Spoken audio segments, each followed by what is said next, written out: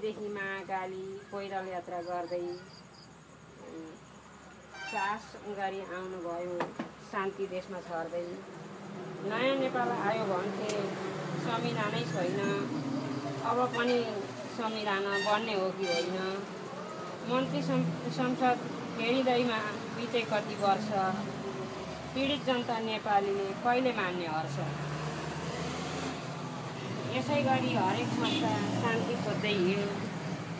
आफ्नो आफ्नो आफ्नो आफ्नो अधिकार यसै गरी सधैँ आफ्नो आफ्नो अधिकार सबै जनता भिडौँ अधिकारमा सबै जनता भिडौँ सधैँभरि उच्च रहोस् यो संस्थाको सेवा महिला हिंसा निर्मूलै होस् हटोस् नारीतिर।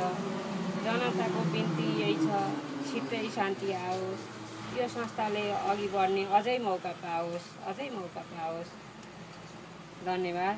मोरङ दुलारी दुई कक्षा गुणाकुमारी दाहाल। राम्रो छ।